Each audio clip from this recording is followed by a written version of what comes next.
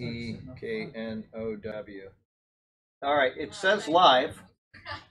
It says it's live. We had a problem last week, so let me see what Sergio says here before we uh, start into the I thing. watched you last week. It- Fine. Well, the first four minutes there was no sound, but I want to know from I liked that Sergio if uh.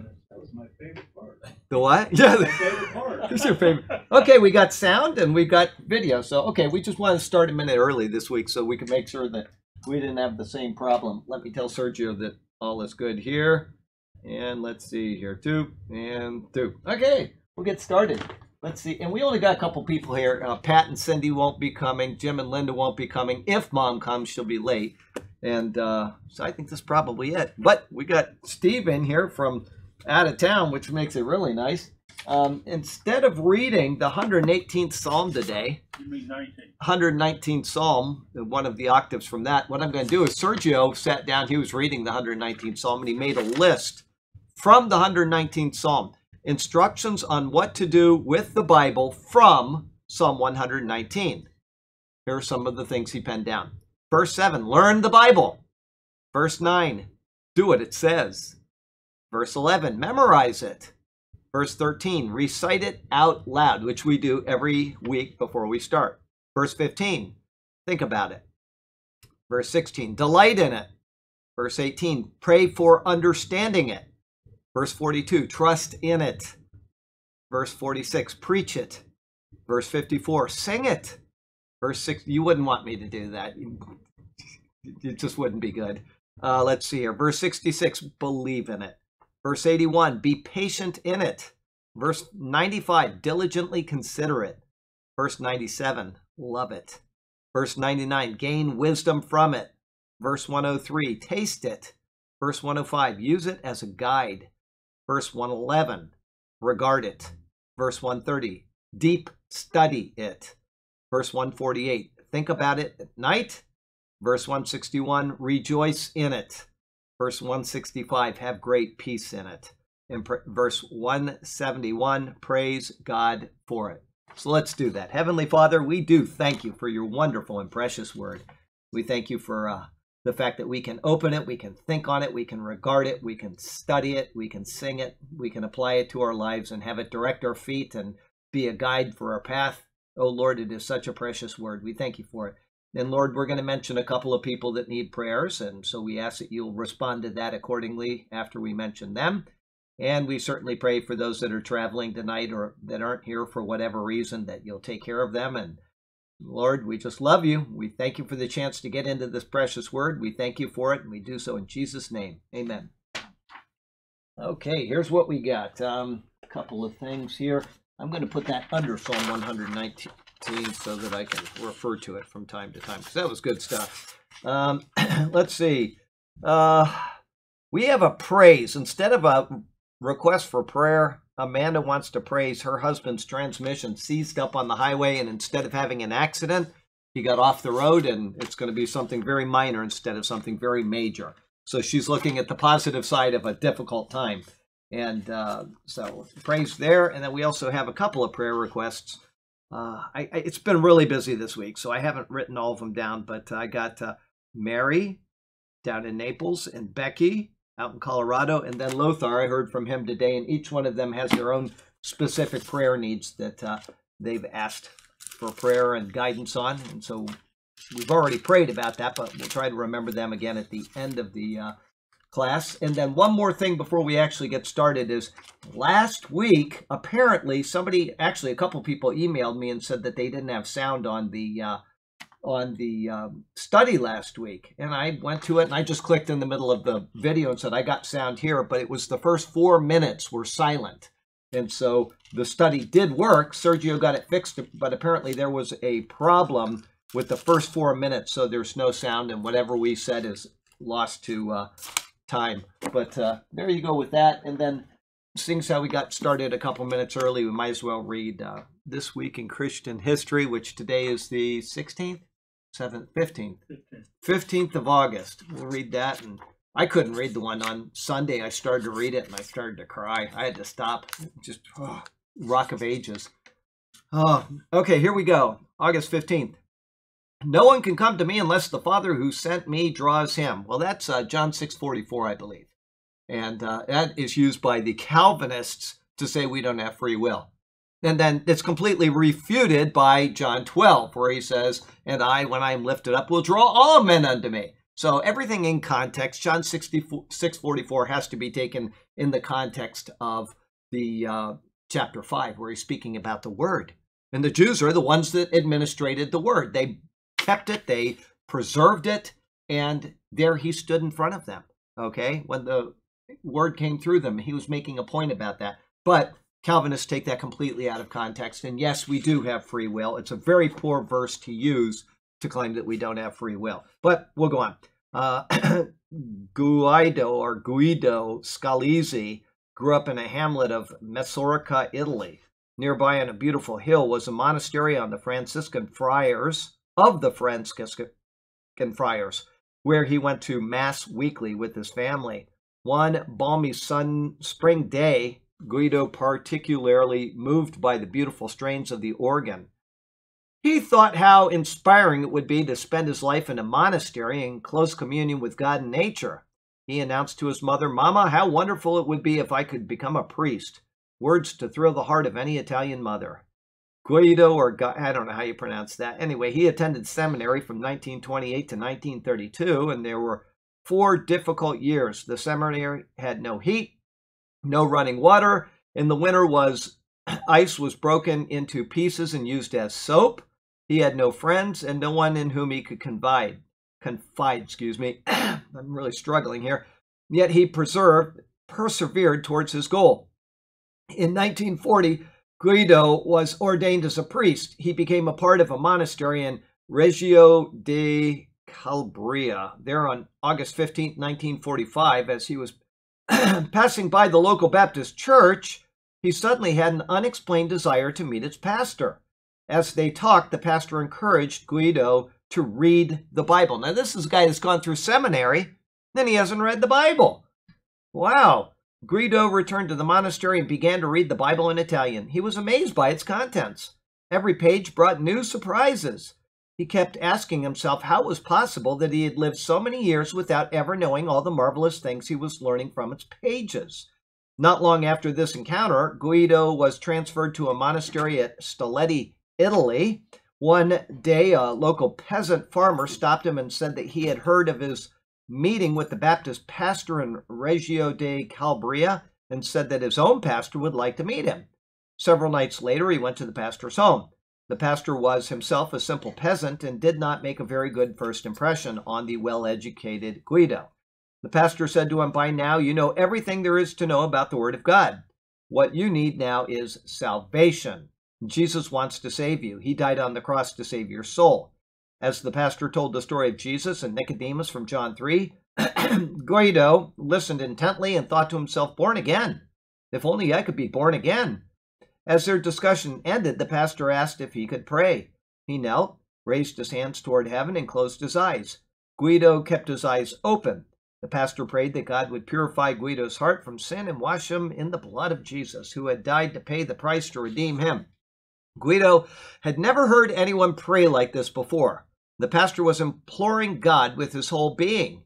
Guido finally closed his eyes, and suddenly all of his sins passed before him. In anguish, he wondered how he could free himself from this oppression. Then words from the pastor's prayer flashed through his mind The blood of Jesus purifies us from all sin. It was then that Guido abandoned himself to Jesus, crying, Lord, have mercy on me, a sinner, save my soul. Peace flooded into his heart, and for the first time in his life, he felt the presence of Christ. It was so real that Guido felt that he had stretched out his hand he would have touched the hem of Christ's garment. With eyes filled with tears, he embraced the pastor and told him, Brother, I have decided to serve the Lord for life or death. Guido Scalzi left the monastery and served the Lord as director of La, Voice, La Voce della Speranza, the Voice of Hope, a radio broadcast carried on stations in the United States and throughout Europe. And like Guido Scalzi, many people are very religious, trusting their church involvement to get them to heaven. Does that describe you? It wasn't until he personally trusted in Christ to cleanse him from his sin that he found peace and salvation. Acts 16:31 says, "Believe on the Lord Jesus and you will be saved." So there you go. Guy's in a Catholic monastery after seminary, four years, I guess it said, and he doesn't know who Jesus is. Unbelievable. There you go. I'm glad he met him. Glad he got out of the monastery. We are in 1 Corinthians chapter 12, starting in verse 26 today. You know what it is? Once I started talking, all that candy we've been eating caught up with me. Oh, You got we a got, frog in your pocket there? I, I got a frog in my pocket and one in my throat. I'll tell you that. wow. Let's see here. We got uh, yes, twelve twenty six, and with no Jim here, I'll go ahead and just read, and we will go back to verse uh, twenty three just to get a idea of what, what we're doing here. Twenty three, and those members of the body which we think to be less honorable, on these we bestow greater honor and our presentable parts have greater modesty. but our presentable parts have no need. But God composed the body, having given a greater honor to that part which lacks it. That there should be no schism in the body, but that the members should have the same care for one another. In verse 26, and if one member suffers, all the members suffer with it. Or if one member is honored, all the members rejoice with it. Okay, we've been talking about the body. Remember that for the past, you know, several verses.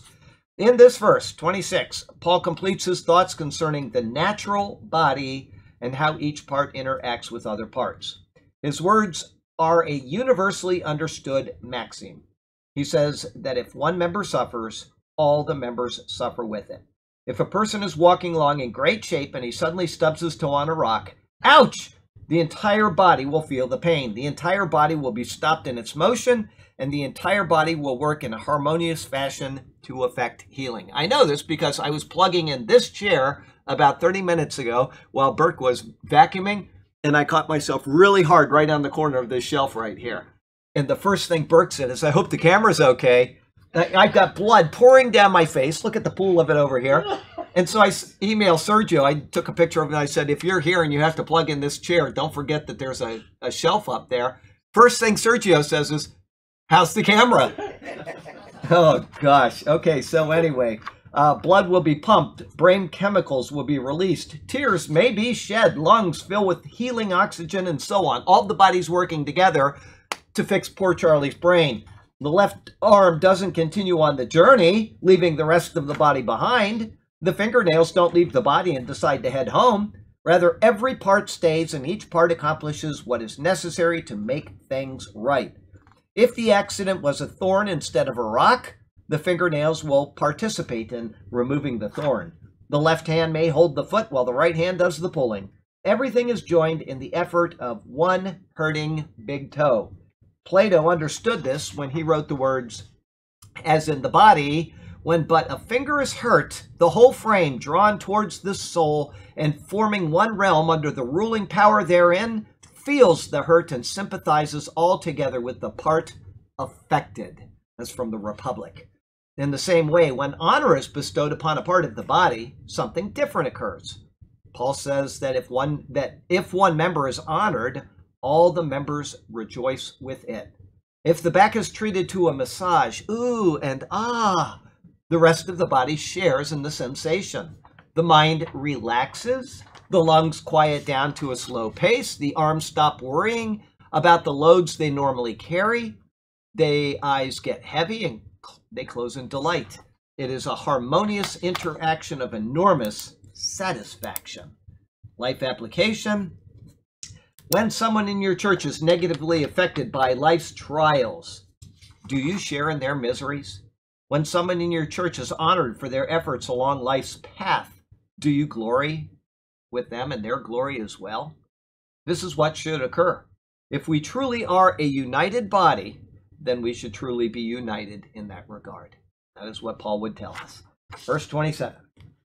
Now, you are the body of Christ and members individually. So he's got done talking about all these different body parts. And uh, I'll tell you, when I was, uh, what was it, uh, wastewater treatment, about 15 years ago, I suppose it was.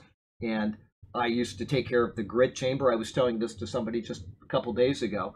And I had stubbed my toe and torn off the toenail. And the grit chamber is where the water comes in at a high speed and it it goes through a bar screen, which catches any rags and any money and anything that gets you know comes into the not shouldn't be in the plant. Okay, and it catches all that big stuff. And then after the bar screen, it goes through a big area which is very slow moving, and the water settles down, and all the grit and sand and everything settles out of there, and that keeps the pumps from wearing out. It keeps the uh, uh, tanks from getting clogged up with all kinds of grit and everything. So we get that out. And the way there are different ways of doing it. You can use a centrifuge, but the centrifuges wear very quickly because it's very abrasive, and you got to replace parts. It's expensive.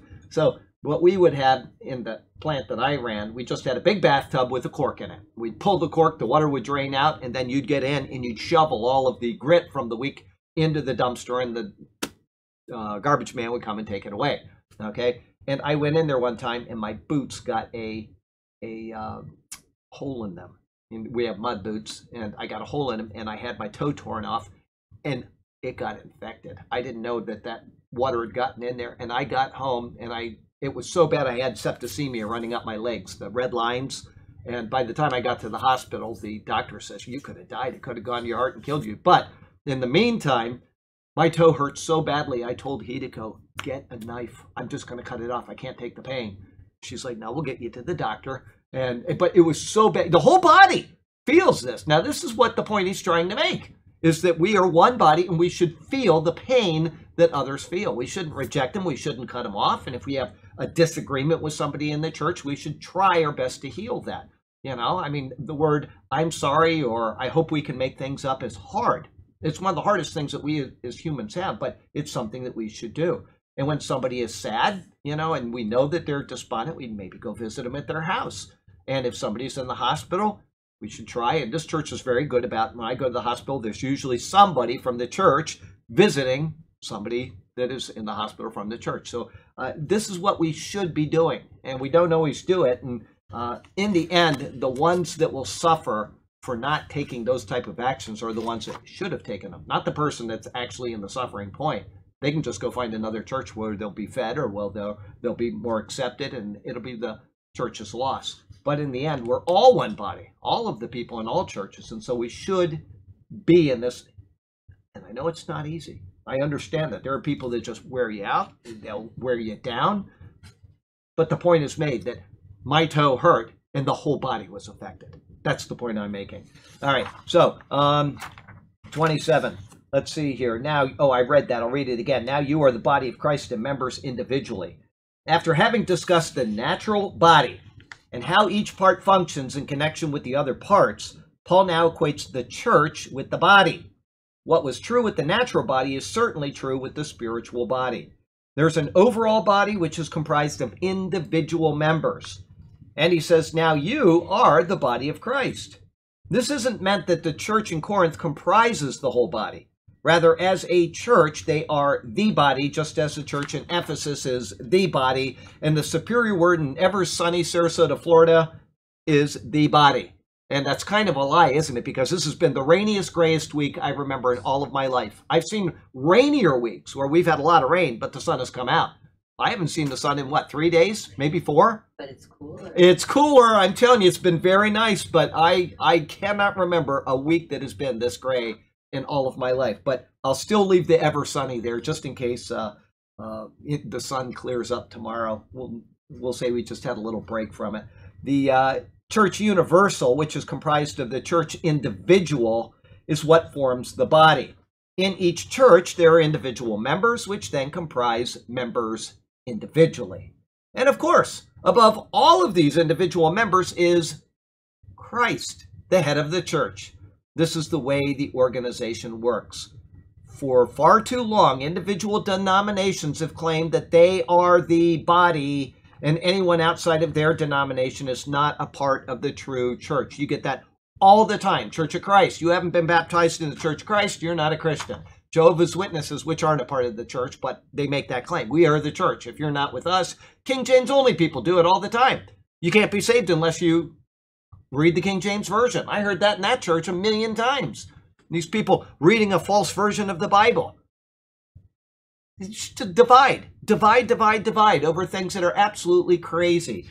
Anyway, um, Uh, I won't get into King James onlyism today, but wow, nonsense. My next word, nonsense. The church is comprised of faithful believers in Christ. 99% of all of the world never had a King James Bible, and yet they're saved believers from AD 1 all the way up, or AD 33 all the way up until the present day, right? There was never a Jehovah's, I shouldn't even use them as an example. I use them as an example of an apostate church, but Church of Christ, or all of these people that say we're the true church and nobody else is. They're dividing and it's nonsense. If you hear that, that exclusivity, it's probably a time to leave that particular church. The church is comprised of faithful believers in Christ. Never let the individual parts dictate the truth about the whole. This is exactly what Paul has argued against for so many verses. And life application here if you are in a church body, here it is, that claims it is the only true church body, then you should probably find another place to worship. Christ Jesus is the unifying factor within the church, not man made edict and suppositions. Edicts and suppositions. The uh, Catholic Church, Mel Gibson believes they're the only church. He heard it when he was at some point in his life. He said, It's true, if you uh, aren't a part of the uh, Catholic Church, you can't be saved. It's He's- the one true. It's the one true church. And they believe that. People get duped into believing that kind of nonsense. And here we've got, right in our Christian history today, a guy that was a member of the church that didn't even know who Christ was. And he's supposed priest of the people. Absolutely crazy. So, you know, if you're in that kind of a church where people say that kind of stuff, you need to leave that church. Anyway, 1228. After having described the properties of individual members, Paul now turns to the gifts possessed by those members. I didn't read the verse. Let me read it first. Verse 28. And God has appointed these in the church first apostles, second prophets, third teachers, after that miracles, then gifts of healings, helps, administrations, varieties of tongues. All right, let me start again with my comments. After having described the properties of individual members, Paul now turns to the gifts possessed by those members. He gives similar lists elsewhere, but they may differ a little bit and they may be in a slightly different order as well. However, for this list, he notes that God has appointed these in the church. The intent of this wording is to show that certain individuals have been granted certain gifts for the sake of the body. Burke will have something that Steve doesn't have, and Steve will have something that I don't have. Or maybe two of us share a gift that nobody else in the church has. Whatever. Okay? God has appointed. He begins the list by stating first apostles. These are sent ones who were commissioned directly by the Lord for the purpose of his of witnessing his work. Now what that means is, and I've said this before and it's good to repeat it from time to time, is that there are no apostles of Jesus today. There have not been since the last person that was appointed as an apostle died. The last person that was appointed apostle was Paul. He was appointed later. It's not the last one that died. I believe it was John, right? But Paul was the last appointed apostle of the Lord because he was the last one directly commissioned by the Lord. If somebody claims the title of apostle today, they are misusing that particular title. You can be an apostle like you could be apostle of the Superior Word Church. You're a sent one. The church is sending you to Uganda or he's sending you to Kenya. Okay? But why use the term? Why even use it? It's just a title that doesn't, it, it- it's showy and it doesn't serve any purpose. The less titles we have, the better off we're going to be, in my opinion. Anyway, let's see here. They've been granted the highest position the apostles have within the church, and their era lasted until the completion of the Bible. The apostolic period of the church ended with the death of the last apostle. However, the writings of the apostolic period actually ends with the words with the word amen penned by John at the end of the book of Revelation. That is when the apostolic age actually ended. It ended in reality with John's death, but his completion of Revelation was the end of the apostolic age as far as revelation that would be transmitted to the people of the church. There are now no apostles, despite some claiming the term. Paul shows that after apostles come prophets. The office of prophet holds two significations. The first is foretelling. This is an utterance from the Lord about something future. It is a proclamation of something previously unknown. Although there may have been people with this gift at the time of the letter to Corinth, There's no need for this type of office now. Anybody tell me why? Completed. The Bible's completed. It tells us all we need to know about redemptive history until the Lord comes. There's no need for a prophet in today's church. If somebody claims prophecy in today's church, they are false. That's all there is to it. There's no need for that type of thing. We have the word. The word is written, it is documented, and this is what we need to have for our faith and practice. Anything added to that is superfluous. And there is not, after 2,000 years of people claiming prophecies, I want you to know that there is not one of those supposed prophecies that have added anything to the Word of God. Not one. Think of it. How many of them have any value in the world today? None. So have right doctrine on that particular issue. Therefore, people who cl- claim this as a gift do so from a very tenuous position, claiming extra biblical revelation. The second type of prophet is forth telling. It is the interpretation and explanation of what has been recorded in the Bible. It is the job of faithful men of God who preach from the pulpit or on the streets or wherever else to the people. Where the word is proclaimed, the forthtelling of the word is being accomplished. After prophets come teachers. This is similar to forthtelling prophet, a preacher, but it may involve less formal oration. It is similar to any type of classroom study. Questions may be asked and answers may be provided. The text, uh, the teaching gift is instrumental in the discipleship of others. If you want to be obedient to the word of the Lord in Matthew 28, where it says, Go there and make disciples, that's what you would do. You would teach people. You wouldn't just get them converted because conversion is one part of an ongoing ongoing process. And you should, after that, be teaching people. You should be discipling them. That would fall under the gift of teaching. Okay?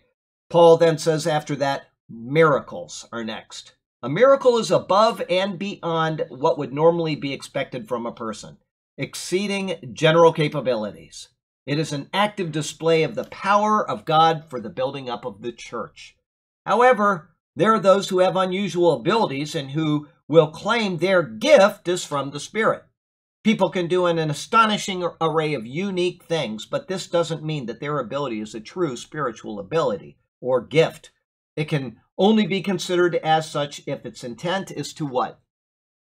Somebody has a gift of miracles. How do you know if it's true or not? Or you might not even know with this, but it must do this in order to be true. It must bring glory to God. If it doesn't bring glory to God, then it is not a valid gift eh, or use of that gift in any way, shape, or form. Next are gifts of healings. These would be truly miraculous healings which come by faith through prayer. There's no reason to not believe in this gift today, but there is every reason to question it as it is presented. Charlatans fill the halls of Christianity claiming this gift when they don't possess it. The best policy is to believe in faith healing, but not in faith healers. I'm going to give her a pass today because she did email and say she'd be late. So I'm going to give her a pass. There are those who truly have faith that their prayers will be answered, and God truly hears their prayers and responds through effectual healing of the sick. That is the gift of healing. Okay? People praying for others, people having the gift of healing through petitioning God, because ultimately all healing must come from Christ if it is a true healing of God. Okay? From there, Paul notes helps. The Greek word is found only here in the New Testament. It is speaking of various types of aid, help, or assistance. Some may give money to help others. Some may donate their particular skill, such as being an electrician, to help out. Some may have an abundance of time to help with various needs. Whatever the help is needed, the need is met through this type of gift. And that's something almost everybody can have at one time or another. You can be a help to somebody. All right. Next is administrations. This is what I did in the U.S. Air Force for nine years, four months, and 15 days. But it wasn't a gift of the Spirit. It was just what I did. What's that? Not that you're counting. Not that I'm counting by any stretch of the imagination. What did I say? Nine years, four months, and 15 days. Three hours and 27 minutes.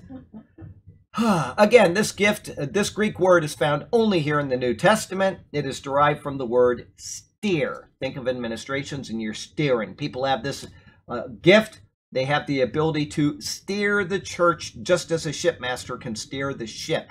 They are able to make sound choices concerning what should be done, when it should be done, and what direction should be taken for the benefit of the overall body. That would be the gift of administrations. And there are people like that. And I think I talked about a week or two ago where people will often have a gift, something like this, and they actually help the church out more than almost anybody else, and you never know it.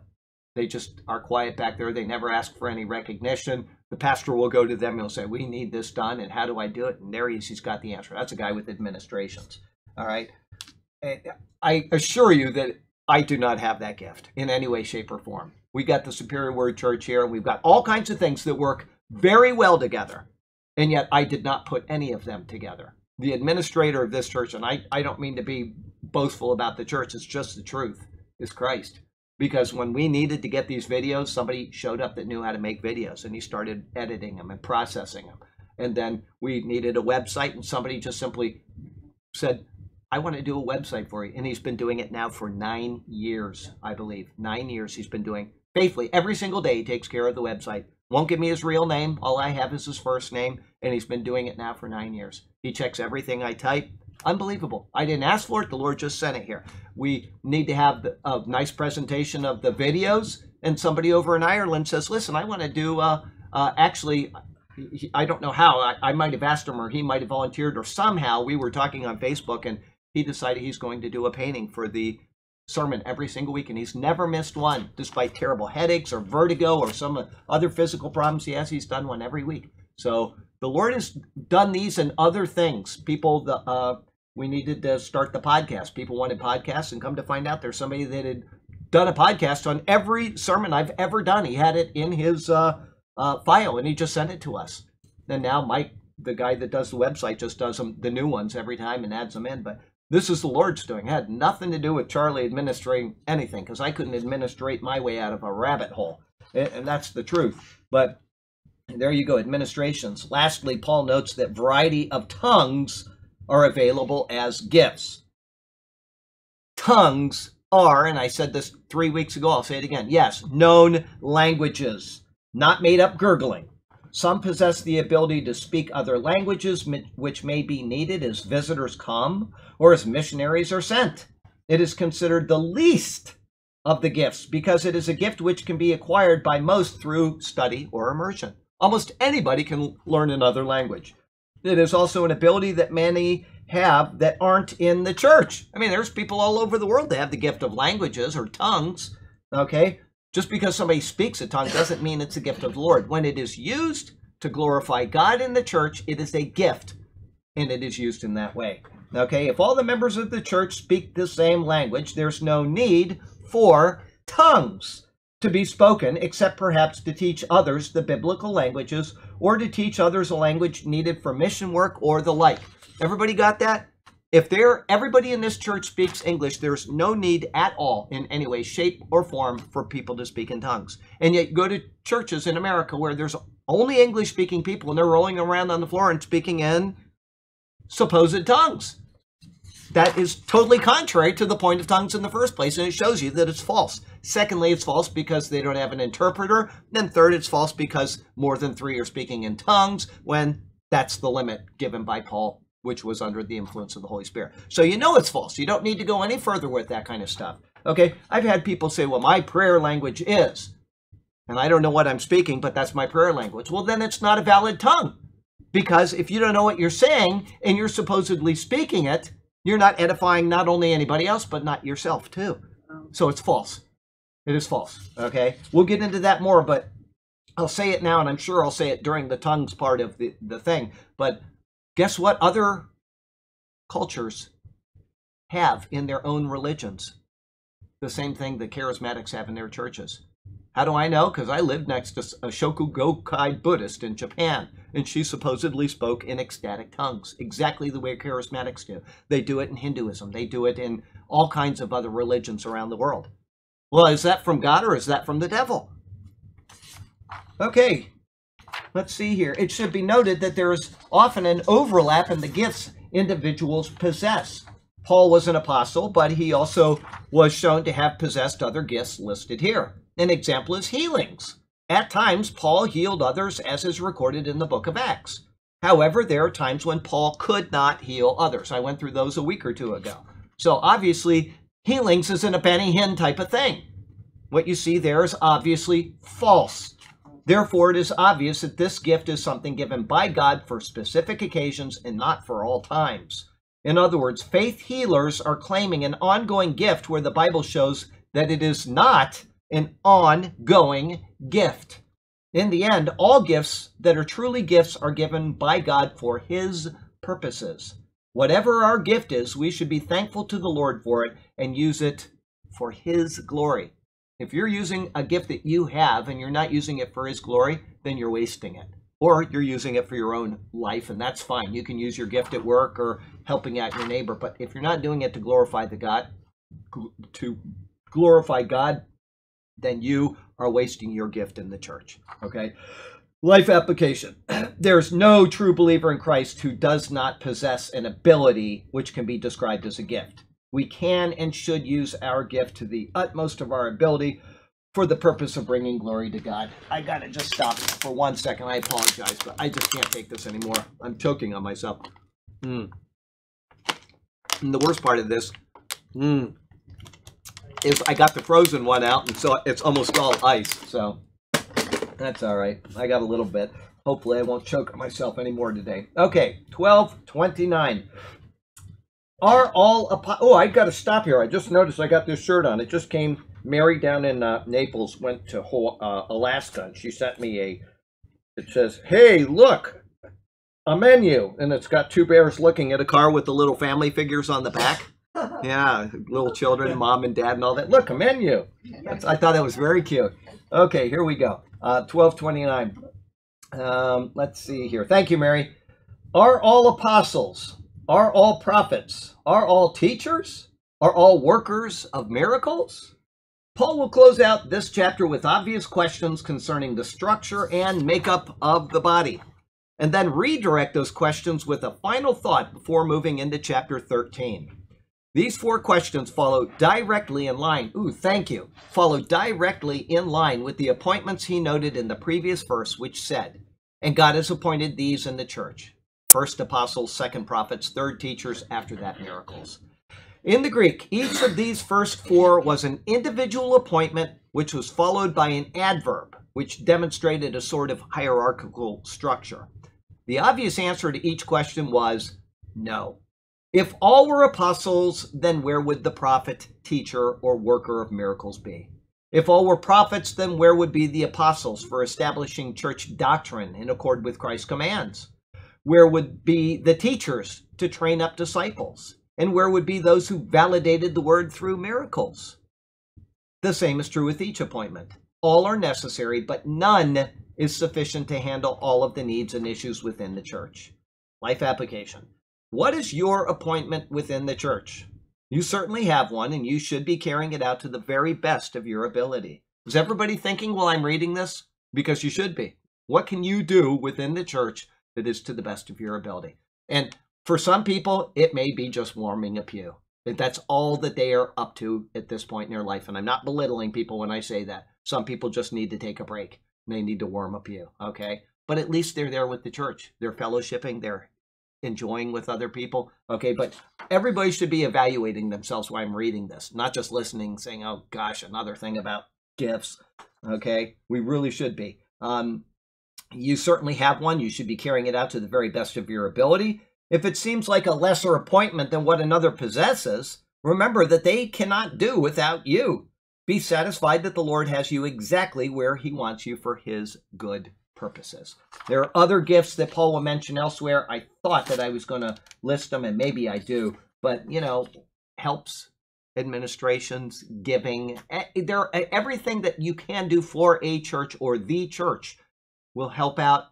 That is a gift, and some people can do any or all of those. Okay, at one time or another, there's something that you can do of the ones that I just said: helping, uh, administration, giving. Um, uh, tongues not everybody's going to do, but everybody could do it. We can all learn a language.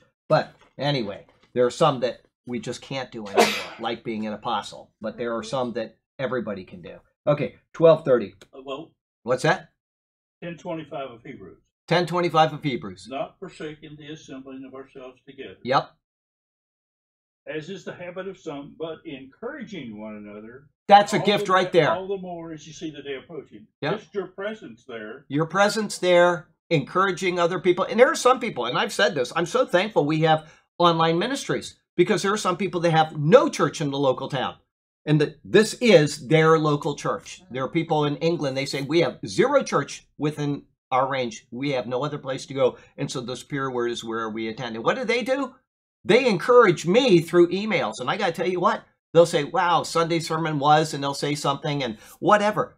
That right there is enough to get me wanting to type Monday's sermon. Okay. So you're right. Now they, they cannot actually be with people, but they are there with them online and they are there and maybe they're encouraging through the, you know, the talking on the side of the chat. I don't know. I don't ever see that kind of stuff. And so I, I don't know. But apparently on YouTube, they're just talking all the way through the sermon and doing whatever they're doing. But um, yeah, I when somebody sends me an email on Monday, and you know, I know it's somebody that this is their church, Lisa out in Australia, for example, and she'll send something and you know something about the church. It always blesses me. So there you go. Um, we'll go on. Let's see here, twelve thirty. Uh, but yeah, encouraging. 1230 do all have gifts of healings do all speak with tongues do all interpret here paul finishes his list of gifts that have been dispersed among the body in this he lists two of the gifts that were lumped together without an adverb separating them during his previous list they are healings and tongues he also leaves out helps and administrations which were in the same combined list and he adds in the gift of interpreting. So he's kind of changing things around. All right. So it shows you that these aren't fixed and set things of gifts either. By him doing this and then adding one in here and dropping this out, he's saying that gifts isn't just limited to what I'm saying, it's just a list that I'm giving you to think through. Okay. Going on, these three should all be considered lesser gifts because of how they were kept separate from the previously noted gifts. Further, Paul will especially speak about tongues and their interpretation as he continues later in chapter 14. We're going to go into complete detail on the subject of tongues and it'll be just another couple of weeks. All right, chapter 13 is very short. We're at the end of chapter 12. We'll get into the gifts of tongues and we'll go through it in detail. And if you speak another language, which I know a couple people in here do, then you will be able to think about the the what Paul is saying is that outside? Yeah, that's outside. Okay. Um, okay, anyway, um, there we will see that even at the time of the early church, the gift of tongues was not being handled in an appropriate manner by the Christians. Because of this, he will give explicit instruction concerning this gift, instructions which have been completely ignored by most charismatic churches since the beginning of the charismatic movement. Likewise, the abuse of the gift of healings has reached such an absurd level that churches often seem more like a comedy show than a true church in any real sense. In the abuse of these two gifts, there has been a complete lack of holiness, order, and honor for the exalted name of Jesus. And that's what it all comes back to. I've said it before, I'll say it again. It's for the glory of God, or it is of no value at all. Okay? If someone truly possesses the gift of healing, they will use it in a manner which highlights the Lord, not the possessor of the supposed gift. And if someone has the ability to speak in another language, they are to follow the explicit instructions for tongues given in chapter 14. If these aren't followed, then what is presented is not a gift, but rather an ostentatious show designed to call attention to oneself and not to the Lord. Life application Paul's words are doctrine for the church.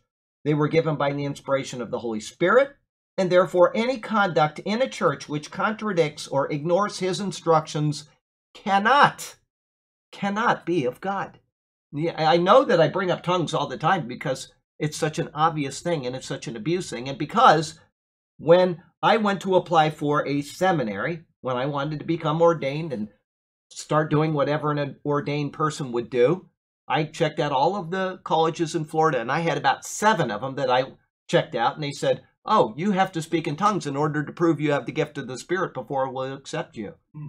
And I thought, huh, huh. And ever since then, I've been on just this thing against tongues. It's such it's such a misused precept. It is such a uh, ah, we'll just stop there before I get angry again. Um, 1231. I'll get angry enough in chapter 14, I'm sure. Anyway, but earnestly desire the best gifts. And yet, I will show you a more excellent way. This is the end of chapter 12. Paul closes this chapter with a verse that looks back on what he has said and forward to what he will say.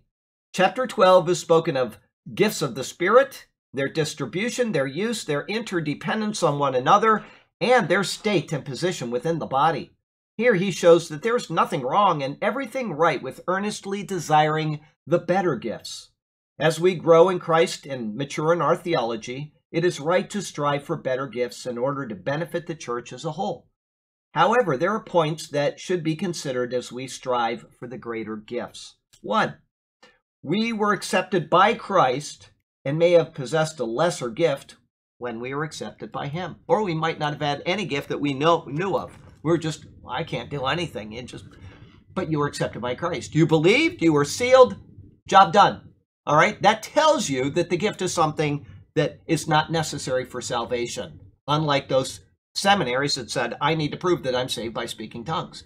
They've added to the Word of God, they've added to the gospel of God. It cannot be the gospel if that is what they say. Okay? Two, the gift we possessed and the gifts we strive for are still gifts.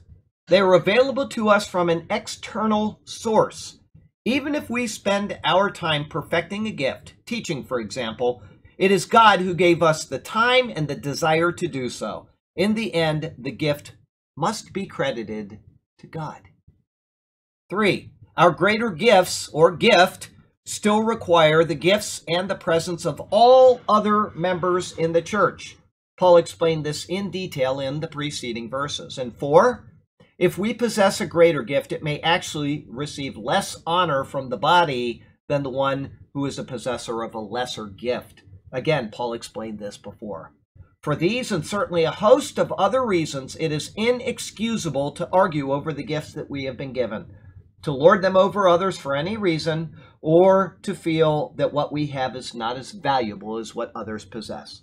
The body is a single unit of many members, which should have one ultimate goal and aim. And because of this, Paul will enter into chapter 13 with one of the greatest discourses on the subject of love ever penned. The entire chapter will be devoted to this subject, and it will be based on the material he has presented in chapter 12 concerning gifts. You have to remember the context. He's giving this chapter on love based on what he has just said in chapter 12. To introduce this new thought, he simply states, And yet I will show you a more excellent way.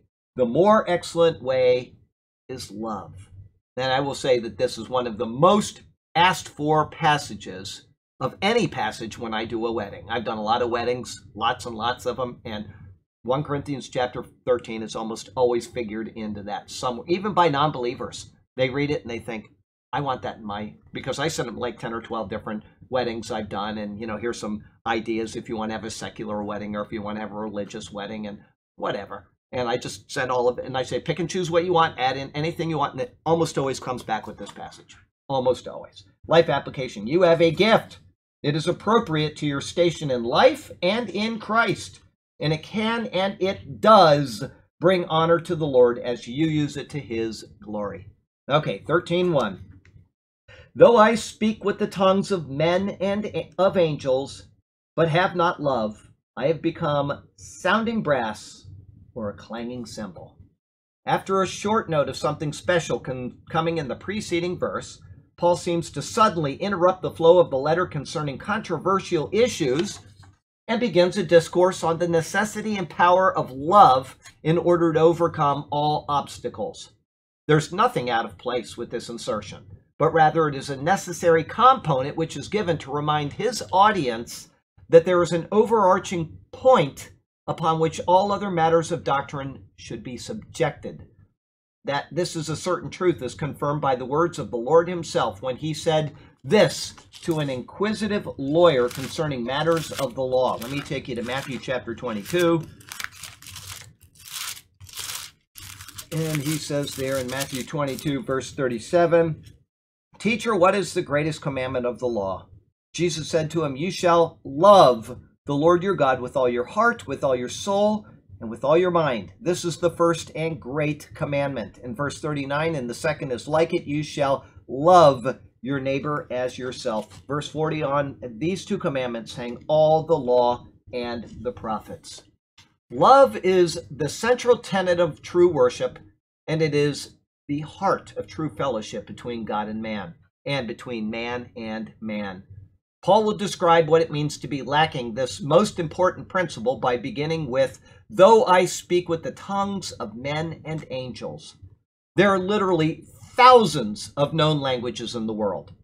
These are the tongues of men. Understanding and speaking more than one or two of them is a rare and valuable commodity. Unless you're in Europe, then they can speak three, four, or five of them. But I'm talking about in general, most people speak one or two languages, and that's about it.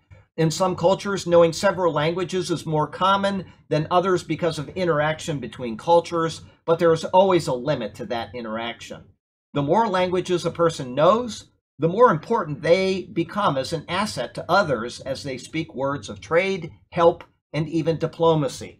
The tongues of angels is not speaking of some unknown language that is beyond the reach of human knowledge, which charismatics will say that nor is it speaking of unintelligible gurglings, which people claim is a divine spark of inspiration, which then proves that they have some special connection with the Holy Spirit. That is not what the tongues of angels is speaking about. Rather, Hebrews tells us that angels are ministering spirits sent forth to minister for those who will inherit salvation.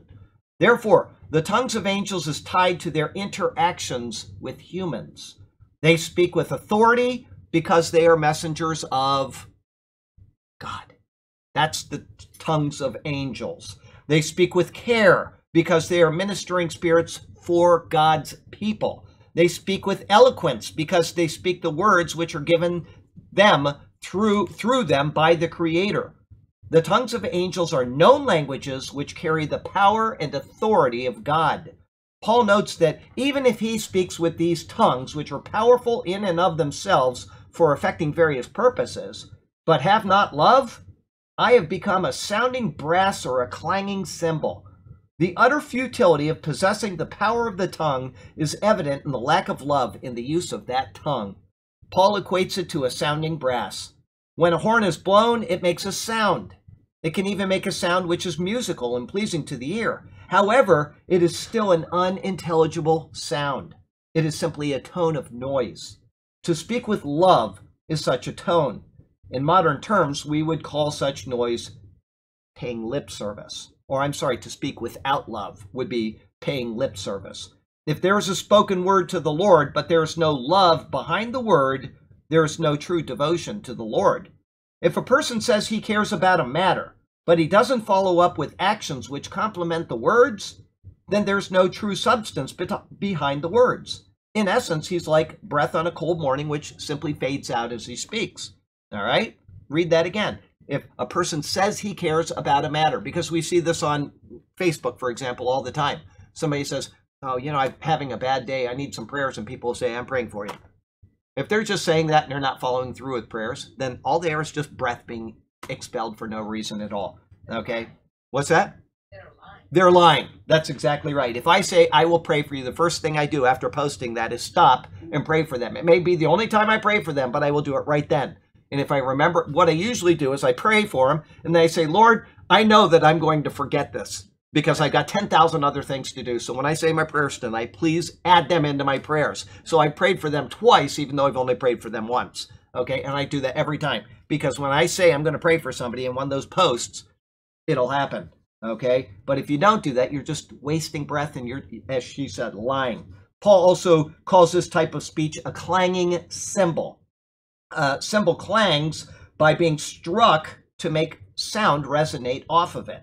Without there being harmony between the one striking the cymbal and the cymbal being struck, the noise will be offensive, not melodious. If a child bangs on a cymbal, it is annoying. However, if one who is mature, we'll take Buddy Rich. Anybody remember him? Oh, great drummer. Um, eh, he's mature. He understands the structure of music and how to obtain the proper sound for the brass to make that music. It is both pleasing to the ears and in and effective in its purpose. either by itself or in unison with others playing other instruments. Buddy Rich, if you don't know who he was, was a great drummer. He's probably dead by now. I'm sure he is, but he went back to like the 40s or something, and he would. Everybody wanted him. If you had a band, you would always say, "We want to have him," and it was a status symbol. He was the great drummer of his age. Without love, there's only noise without purpose. Without love, there's only disharmony and an unsettling din of noise, like the kid banging on the cymbal. But with love, there is effective communication, edification, and peace between those who are communicating. Life application. As Christians, we would do well to pay close attention to the words of 1 Corinthians chapter 13 and apply them to our lives. May God be pleased with hearts which are acting in love in agreement with the words spoken, which profess that love. Verse 2 And though I have the gift of prophecy, and understand all mysteries and all knowledge, and though I have all faith so that I could move, remove mountains, but have not love, I am nothing. And the first one there, although I have the gift of prophecy, it just I get this a lot because I have a prophecy update. And as I've said before, everybody is a specialist in the Bible. Everybody. They may have never read it more than once or even one full time, but they're a specialist and they get into prophecy updates and they've got their mind made up about prophecy. And there is very rarely love when I get an email about prophecy. Okay. There are people that are very gracious with this, but there are a lot of people that all they want to do is tell you that they know everything about prophecy and they're very unloving. And that's just the way it is. And so what Paul is saying here is exactly what that is. Uh, people can be so unloving about their knowledge. Knowledge puffs up, Paul says, but love edifies. Let's see here. In continuance of the previous thought concerning tongues, Paul now moves to the gift of prophecy. This was esteemed as a higher gift than tongues by him in 1 Corinthians 12, verse 27. He notes here that if he possesses this gift, which would allow him to understand all mysteries and all knowledge, there would still be a lack without love. The term mysteries refers to that which was once unknown, but which has been revealed by God at the right time to continue to make known his plan of redemption. It is not specifically referring to predictions of things which will occur in the future, but to the revealing of anything that has or may occur and how that information fits into redemptive history. This idea is actually found all the way back in the books of Moses. Does anybody know what verse I'm going to go to? Burke wasn't here, so he, he just walked back in. Anybody else know it? Secret things belonging to the Lord. Deuteronomy 33. 29 verse 29. Very good, Burke. That was outstanding. It's one of my favorite verses in the Bible. The secret things belong to the Lord our God, but those things which are revealed belong to us and to our children forever, that we may do all the words of this law. The secret things belong to the Lord our God. There, on the left of the page, right down. The there you go, left of right down at the bottom. Yeah, God keeps things secret until He reveals them, and once He reveals them, He has done it so that we have that information. Okay, that's why He does these things. The Bible is written. We're not going to get any more prophecy. There are things that are still secret. When I went to write down what the seven voices uttered, I was told to not write them down. It might be the word thundered, whatever. Anyway, I'm just misquoting a verse from Revelation. There are some things that John did see that he was not allowed to tell us. Okay. So there are certain mysteries, but those are not going to be revealed to us in prophecy. They will be revealed to us in time. Okay. The book is written. All right. So possessing such knowledge or being able to discern such knowledge from his word is not an end in and of itself. It is simply a gift like any other which needs to be accompanied by love.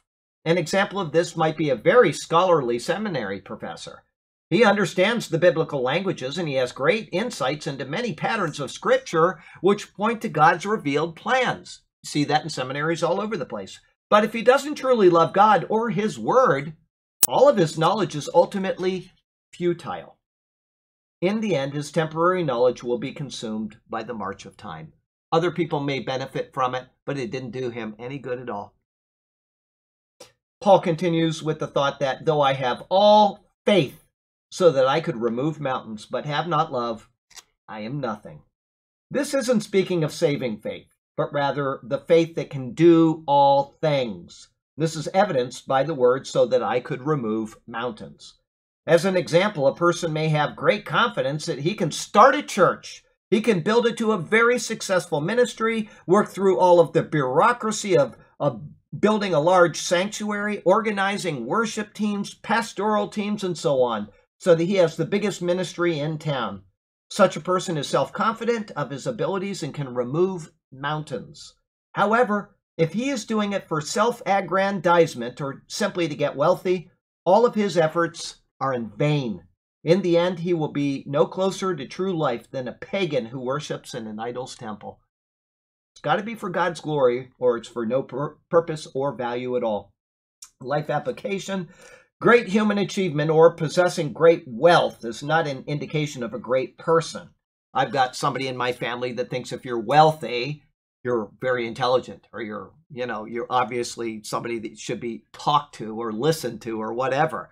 That's probably the least valuable thing that I could think of on this planet.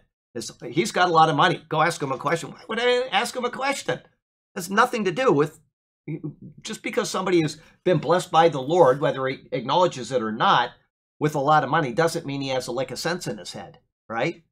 Okay. There are a lot of rich people out there that don't have a lick of sense in their head. That's the point I'm trying to make. True greatness comes from a love for God, a love for the church of God's people, a heart for God's word, and a desire to glorify God in every respect and aspect of life. 13.3. We're just burning up the verses today. And though I bestow all my goods to feed the poor, and though I give my body to be burned, but have not love, it profits me nothing. Now think of that. Think in a wedding and you're hearing these words spoken. And you know, you love this person next to you, but you're not always going to be loving towards them, right?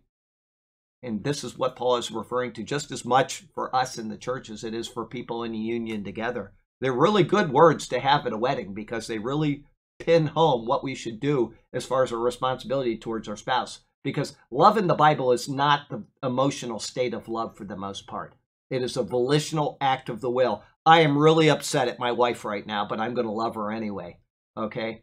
I can tell you that my wife is very good about that. I may upset her deeply and I'll still have a good dinner that night. She's able to take the two and separate them. And good evening there, Mr. Garrett. So, it, love is a volitional act of the will. Okay, anything other than that is an emotional response to something, and emotions do not last. They go up, they go down, and it, that is not what the Bible is speaking of in this regard. Okay, 13.3. As Paul continues with his words concerning self denial without accompanied love, he notes that though I bestow all my goods to feed the poor, is something that others may find notable. In Greek, the term bestow to feed the poor is one Greek word, psomiso. It indicates to portion out or to give away by mouthfuls. The use of this word is to show that if someone were to take every scrap of their existence and parcel it out as a way of obtaining the favor of God or being elevated in the sight of men, it actually means nothing without love. In this, we can think of people who live as monks who own nothing and act piously. As they receive, they hand it out to others. On the surface, this may seem noble and worthy of commendation, but this is a worthless existence that ends in futility unless it is done in love. We saw that with great one right there. We read right before we started from Christian history. This guy was a monk and he didn't have any love at all for Christ and what he was doing was absolutely futile. He could spend the rest of his life living in a monastery and doing good things for other people or not doing anything, and I don't think anybody would care. He's just a monk in a monastery. But unless you accompany it with love, it means doodly squat. If God isn't in their hearts and if there is no true sense of charity in their deeds, then they are simply wasting their lives. I'm going to mention that in our sermon on Sunday. If one is exalted through deeds of piety in the eyes of others, it means that they have received their reward in full. Paul goes on to say that though I give my body to be burned, but have not love, it profits me nothing. In the book of Daniel, the three children of Israel went to the flames rather than bow down to a false god. Others throughout history have done the same. Uh, I'm gonna. I was just gonna say John Huss, I see his name is in my commentary. So I typed this three or four years ago, so I don't remember what I typed, but he's first guy that came to mind. The burning of Christians in the early years of the faith was a common occurrence. Later, the Roman Catholic Church burned faithful believers at will. People such as John Huss gave themselves to the flames rather than bow to the church's wicked practices. These people gave their lives for the sake of Christ, standing on love for Him rather than on love for this world. However, Paul shows that there is nothing intrinsically worthy in dying in this manner. Buddhist monks self immolate from time to time in protest of certain events, don't they? They did it during the Vietnam War, they did it in Korea a couple weeks ago. They get out there and they think, I'm going to make a stand and I'm going to burn myself up. However, this pointless this is a pointless death unless it is done with true love as its purpose. One can die nobly for another, preserving the other's life in exchange for his own, or one can die for their faith in Christ and their properly directed love of God. In this, there is a valid reason for going to the flames. But to simply die for the sake of dying, consigning oneself to the flames without a loving reason in mind, has no merit at all. Life application The greatest supposed acts of charity are completely worthless unless they are motivated by love. Without love, it's wasted effort. Bill Gates gives all kinds of money to charity, and he probably does it out of a guilty conscience because he's got a bunch of money and he figures I better do this, and so I'm going to. I don't think he does it out of love. And if he does it out of love, it's misdirected love because it's not love of God, right? But he does give a lot of money. 13.4. I'm not. Is he Jewish? You know. No, I don't think so. But, you know, I, I don't want to second guess him. He may love what he's doing. I mean, he may have some real deep love in him for what he's doing, but it's not a properly directed love. He does not do it in the name of Jesus Christ, and it has no value. In the end, you might as well just not give anything. You're not going to get any rewards in heaven for it if you're not doing it in the name of Christ. Well, I went to a funeral and because this guy was generous and all, but he is going to heaven. The, Oh, yeah. the rabbi said. Hey, that, I've heard that, and I know somebody in this church. I won't say it without his permission, but he was at a funeral of somebody in his family, and another person stood up and said, "He has earned his right to heaven. Mhm. He did. He gave to the church, and he has earned his right to heaven." Imagine saying that. The family's deluded. Now that they know Christ, the one that I'm talking about, they look back and they think, "How could that be?" Unbelievable. All right. You don't earn your way to heaven, and you certainly don't earn it through giving away money or anything else. You earn it through faith in Christ, and that's it. It's not really earned at all. It's just simply accepting what He's done. Life application. I've already, well, I think I've read it. The greatest supposed acts of charity are completely worthless unless they are motivated by love. Without love, it is wasted effort. Okay, 13.4. We got 20 more minutes. Love suffers long and is kind. Love does not envy. Love does not parade itself, is not puffed up. Keep thinking while I'm reading this because we're talking about Christian faith, love within the context of Christian faith, but it fits very well with the context of love between a husband and a wife.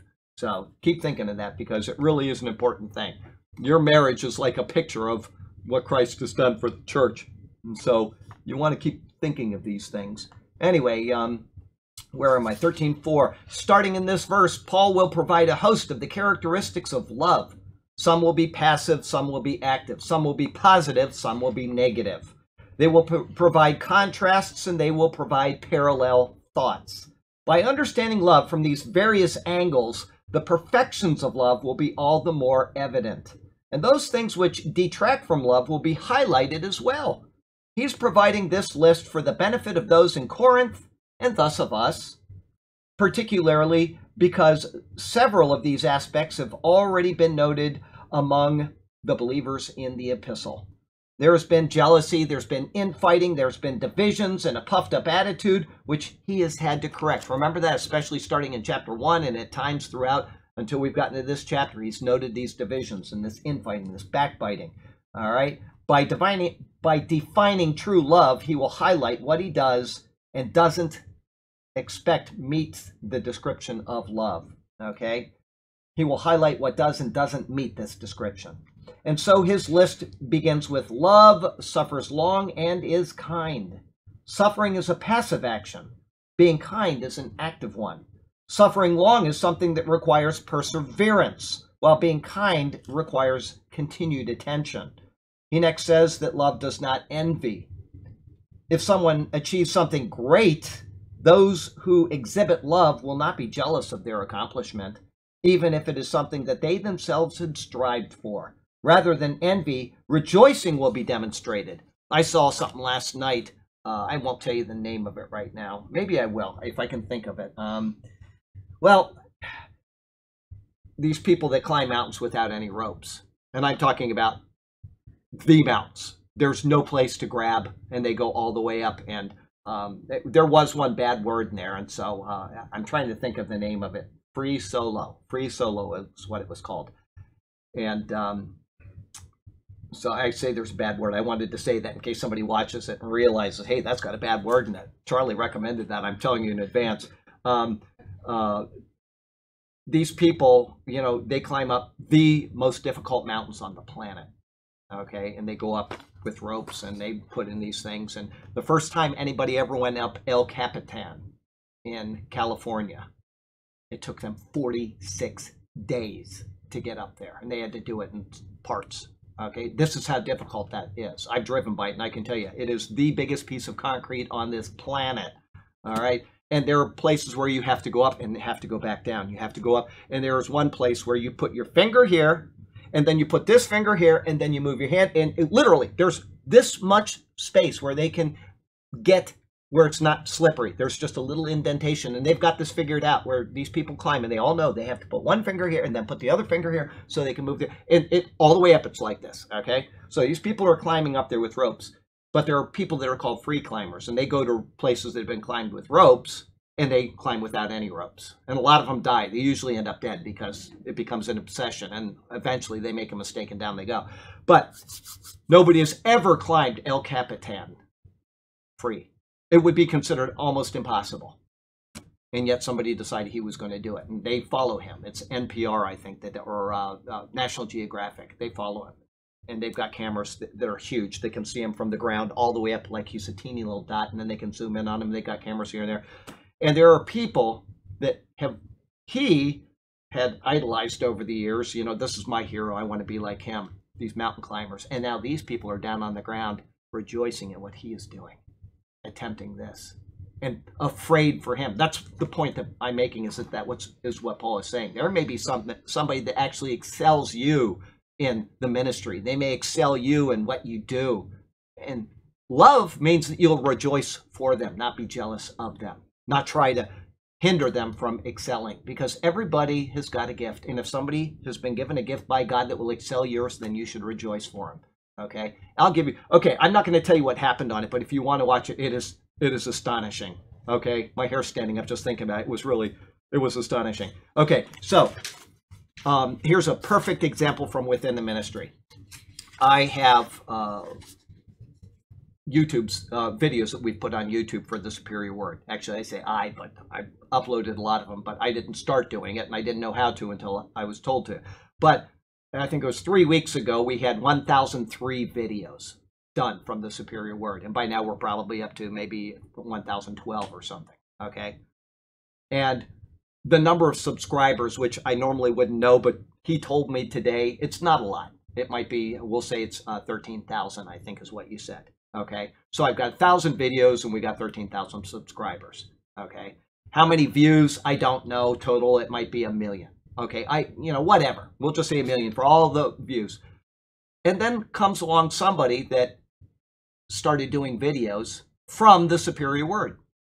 The Superior Word Church was where they were doing their videos from. Who am I speaking about? Sergio. Sergio. Okay. They put out, I think they have 30 or 40 videos, and they have 50,000 plus subscribers, and they have millions of views with just 50 or 60 videos. Now, I could be jealous of that, but I'm actually like a father towards his son. I'm rejoicing over it that the Lord has blessed him and they have turned this into a real ministry because people have come to the Lord through this. People have de- rededicated their life through it and they don't make it ostentatious. They don't not you know if you've seen them, they don't they don't actively evangelize anybody, but they have a simple witness for the Lord. They bring him in at from time to time just on the side and yet it, it is wonderful to see how they prosper. And I could be jealous of that and say, well, gee whiz, you know, that's a bummer. I do all this hard work and I got a thousand videos and there's nothing to show for it. But there is. I'm not, I'm just saying that. I'm not trying to complain in any way. And I could compare myself to him and instead I'm just rejoicing in what's happened with him. It's marvelous.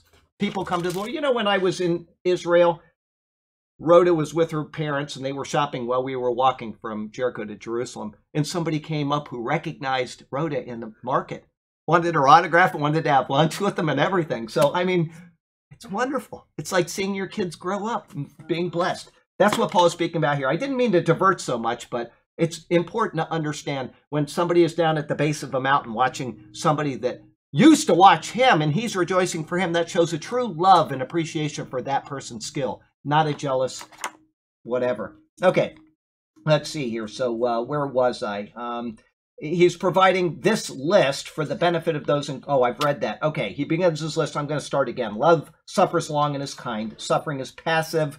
Being kind is active. Suffering long is something that requires perseverance while being kind requires continued attention he next says that love does not envy this is where i left off if someone achieves something great those who exhibit love will not be jealous of their accomplishment, even if it is something that they themselves had strived for.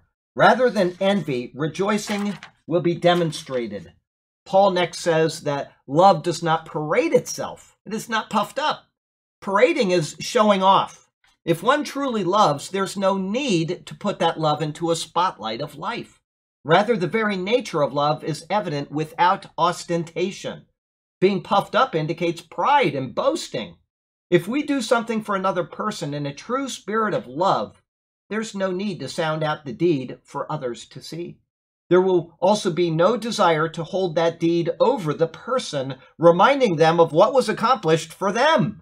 Rather, the deed is rendered and it is not brought up again by the doer boy, if we can learn that one, because how often do we want to say, well, you know, remember back in 1917, I, I did this for you, and you just keep bringing it up, bringing it up. Must be married. Yeah. life application, a life which is truly loving, will demonstrate that state in a volitional manner. Even when tensions exist, they will continue to willingly place the perfections of love before those things which would be a hindrance to them occasionally coming to 1 Corinthians chapter 13 and contemplating its words is a good way to always keep these precepts at the forefront of one's mind. And you don't have to just come to 1 Corinthians 13 from time to time and read it. Guess what? If you read your Bible 30 minutes a day, you're going to be there at least two or three times a year anyway. So read your Bible, you'll get to here and you'll be reminded of this. You don't have to just say, gee, what was it in 1 Corinthians 13? I better go find my Bible and dust it off and go see what it says. Just keep reading the Bible. Read the Bible. Read the Bible. Keep reading it. Life application. I've already said that. 13.5. Let's see here. Does not behave rudely. Speaking of love still. Does not behave rudely. Does not seek his own. Is not provoked. Thinks no evil. Four more traits of the nature of love are given from the pen of Paul in this verse. The first is that it does not behave rudely.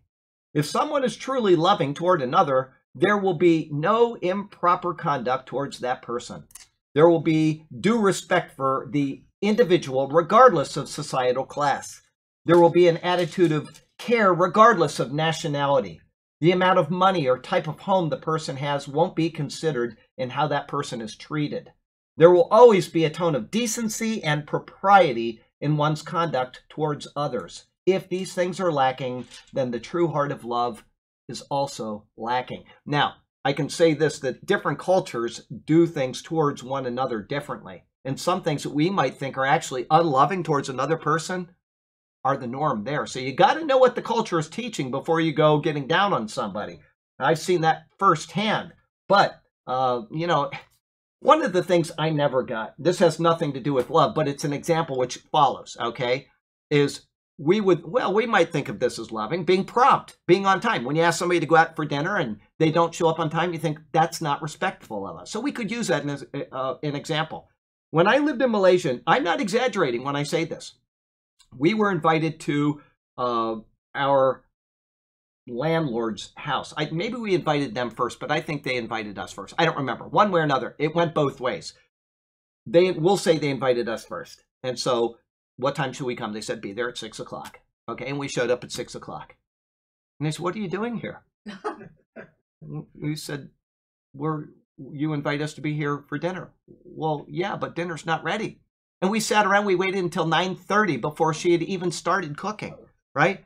And so we thought, well, maybe we just misunderstood what they had said. But we invited them to come over for dinner. And I'm not kidding. You can ask you to Go if you don't believe this. We invited them over. What time do you want? Well, we like to eat early, so we said, come at five.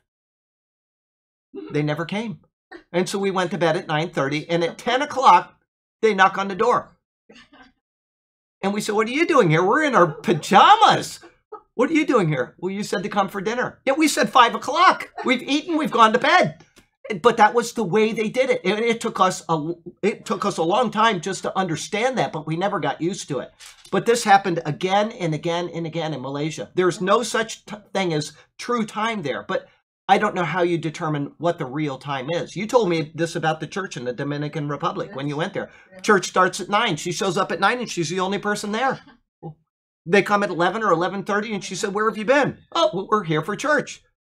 But you said nine. Yeah, but we're here for church. So there are people that, and to us, that would be unloving. So you got to be careful when you take these things to impl- apply them to your own culture. Okay. I'll tell you another thing about Malaysia. This would really seem unloving here. Is we invited over our dentist. Her name was Padma.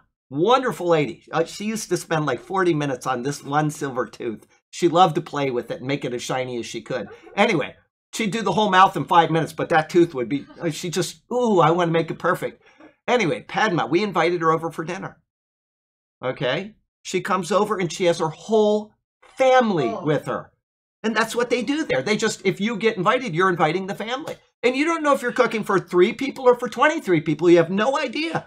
And so we were totally unprepared for that one. But eh, once again, you got to, when you think of love in this respect, think of it from the cultural perspective of the people because their cultures will drive their thoughts that we might think are unloving. So be careful with that. That's just an example. I don't want to get too far off on that, but it's kind of interesting how the rest of the world works. I know America works properly. The rest of the world, I don't know. Anyway, um, let's see here. Yes. They eat at 10. What time do they go to bed? I have no idea. I, I never they figured it out. I never. Oh, listen, those Chinese get up early. They are the hardest working people on this planet, are the Chinese. And that's everywhere I've been. Wherever I've been and there's been a community of Chinese, if you need your car fixed, go there.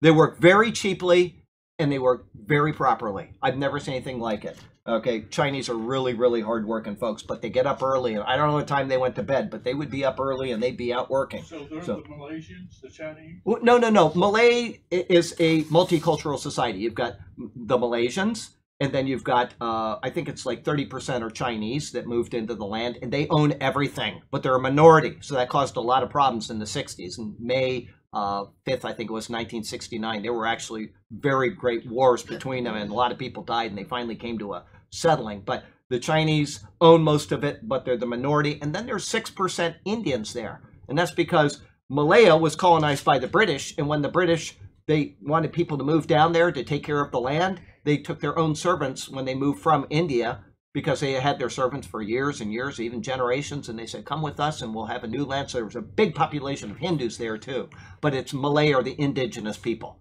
They call themselves the Bumiputra, the people of the earth, and then everybody else are people that moved in and whatever. Anyway, we better go on. We got just we better stop. We're going to do thirteen five again next week because we're we're running out of time. And because we started early, I don't want Mike to have a problem with the video. We can't go over an hour and a half without there being a problem. So I'm going to mark 13.5 as for next week. And uh, sorry, I didn't mean, you asked the question though, so it took me probably longer than we're going to have to finish this. So that's okay. I don't feel too bad. But anyway, interesting stuff. But be careful about the loving part in other cultures because it really can be difficult to know what that is. But uh, in this culture or whatever culture you're in, you're going to have the right attitude if you're going to be a loving person. Okay, let's uh, say a prayer and we will be done. Heavenly Father, thank you so much for Paul's words. They really are an inspiration. It's so beautiful to come to this passage and to uh, see the gifts that we've been given and how we can use them to your glory, and then to move right into this passage on love. And what a marvelous passage it is that it can inspire our soul every time we read it, even if we read it every day of our lives. Thank you for your word, which is so precious. And thank you above all for Christ Jesus, our Lord, who went to the cross of Calvary so that we could be saved through his precious blood. And we have a sure hope of that because of the knowledge we possess from your word. And so we thank you and we praise you. In Jesus' name, amen. Amen. All right, back this thing up here. It's your signature. What's that? It's your signature.